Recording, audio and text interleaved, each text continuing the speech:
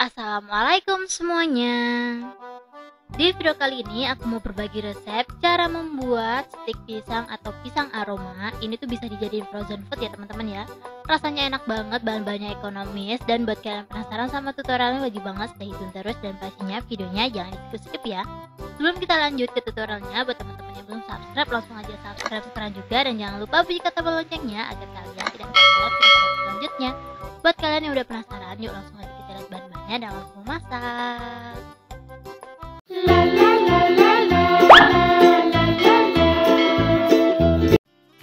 Untuk bahan pertama yang kita butuhkan di sini aku udah sediain pisang. Untuk pisangnya sengaja udah aku buka karena kematangan gitu ya teman-teman ya. Ini kurang lebih aku butuh 5 biji aja, 5 buah gitu. Kita langsung aja potong-potong kayak korek api gitu. Kalau kalian pengen ngefrozennya agak lama, aku saranin dikukus dulu ya teman-teman ya. Karena di sini ini tuh kayak ngefrozennya cuma seminggu atau dua minggu udah habis, jadi aku pakai yang mentah aja. Jadi kalau kalian pengen ngefrozennya agak lama kayak sebulan dua bulan, aku saranin pakai pisang yang udah mateng atau pisang yang udah dikeringkan itu loh teman-teman kayak sale pisang gitu.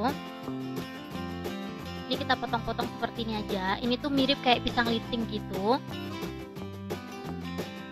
Pokoknya kita iris-iris kayak gini ya teman-teman ya untuk 5 buah pisang ukuran ini kita butuh kulit pangsit kurang lebih 30 piece ya teman-teman ya kalau di tempat kalian susah nyari kulit lumpia, aku saranin kalian beli online aja ya teman-teman ya. Untuk linknya aku bakalan kasih di deskripsi box, aku bakalan tulisin lengkap di situ, jadi langsung aja dicek sekarang juga.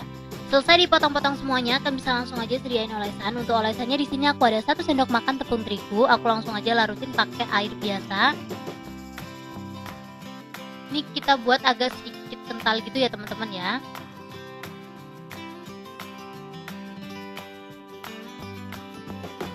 Ini menurut aku udah cukup. Kalau udah cukup seperti ini, kita langsung aja pinggirin dan kita langsung aja potong-potong kulit lumpianya.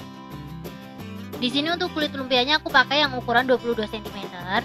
Pokoknya kalian bisa langsung aja cek di deskripsi aku kalau kalian butuh referensi beli ini di mana karena menurut aku ini tuh murah dan kualitasnya oke banget. Jadi langsung aja dicek sekarang juga. Ini tuh nggak di endorse ya teman-teman ya, bener-bener pure aku pakai sendiri. Ini kalau kalian nyimpen kulit lumpia di dalam freezer, aku saranin didiemin dulu kurang lebih 30 menit ya teman-teman ya di luar ruangan gitu. Soalnya kalau nggak didiemin, dia tuh bakalan kaku banget dan gampang banget sobek. Jadi kalau udah didiemin kurang lebih 30 menit, dia tuh bakalan lentur lagi kayak gini loh teman-teman. Kalian itu lentur. Ini aku bakal langsung aja bagi empat. Karena di sini aku susah banget ngedapetin gunting, jadi aku bakalan potong-potong pakai pisau seperti ini aja. Pokoknya kita bagi dia jadi empat gitu ya teman-teman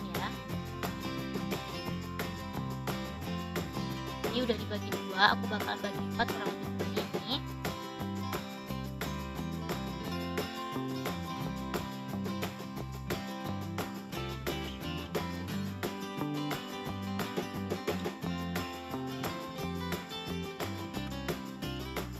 kayak gini hasilnya kalau udah kayak gini kita bisa langsung aja bentuk-bentuk pisang lintingnya kita langsung aja siapin satu lembar kita ambil kurang lebih satu helai aja atau satu biji pisang yang udah kita potong-potong. Setelah itu kita langsung aja tambahin gula atau kental manis. Di sini aku bakalan tambahin gula aja sejumput aja ya teman-teman ya, kurang lebih.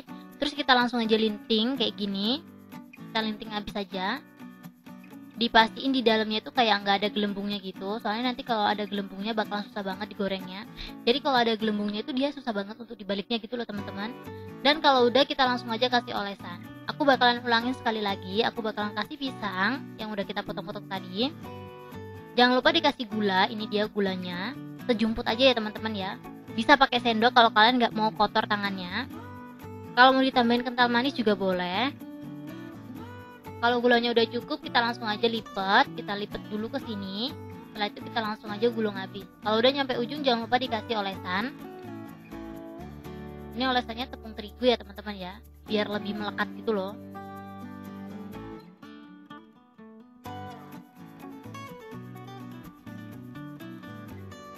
Jadi deh pisang linting frozen ala Restar RF lakukan hal yang sama sampai semuanya habis 30 lembar itu jadinya kurang lebih 4 bento kayak gini ya teman-teman ya.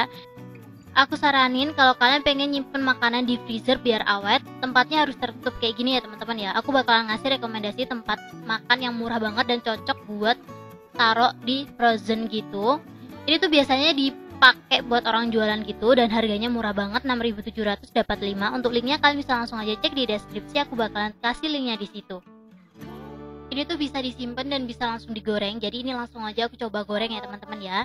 Aku bakalan kasih sedikit margarin biar kayak keripiknya maksud aku kayak lumpianya tuh kayak sedikit gurih gitu loh teman-teman. Sebenarnya nggak dikasih juga nggak apa-apa jadi opsional aja untuk margarinnya. Kalau minyaknya udah panas kita bisa langsung aja masukin pisang lintingnya.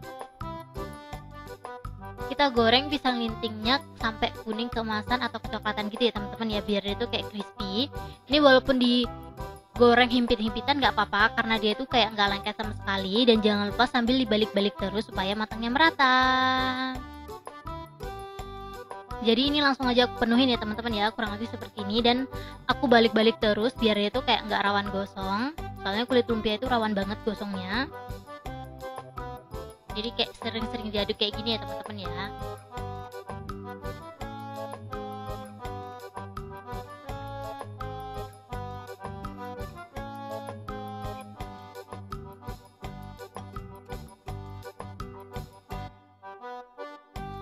dan ini menurut aku warnanya udah keemasan udah mulai coklat gitu. Ini langsung aja aku angkat dan tiriskan.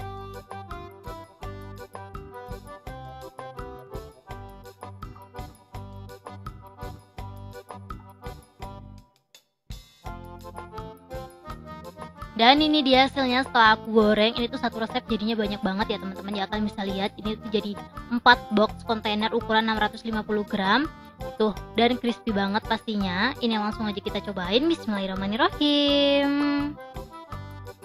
Serius ini tuh bener-bener kayak garing parah. Dan pisangnya tuh enak pol ya teman-teman ya. Jadi kayak ada gula-gulanya gitu. Pokoknya buat kalian penasaran langsung aja dicobain di rumah.